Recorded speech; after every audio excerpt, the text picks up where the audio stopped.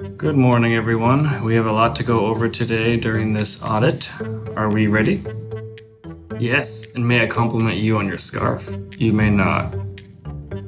Anyway, so we have a presentation to show you uh, to give an overview of our company. It's about um, 100 slides, might take one hour or three hours. Or we could take a tour of all nine of our facilities. Sir, we don't have time for a three hour presentation or a tour around the block. I have read the previous notes from the last audit, and I have a couple questions. It says here there was evidence of training being recorded on napkins and being filed in the training file. Is that true? We ran out of paper. What are we supposed to do?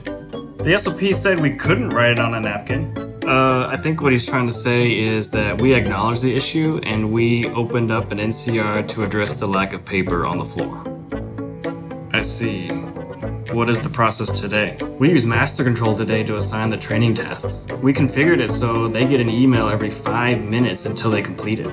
Excuse me, did you say every five minutes? Yes, we found users do their training immediately because their email inbox might crash if they don't. Mine crashes every morning. Let's move on. It says here your management review meeting presentation was only one slide and the meeting lasted only seven minutes? How is that even possible? We used really small font and we talked really fast. And it says here it was held at a Dave and Buster's. I cannot confirm or deny. And what is the process today? Today, our management reviews are much better. We have it in the office, we approve the slides. We don't drink anymore. What did you just say? Uh, he said dink. We don't dink around anymore when it comes to management review.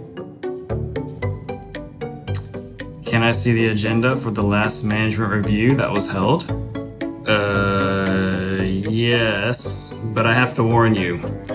It was written on a napkin.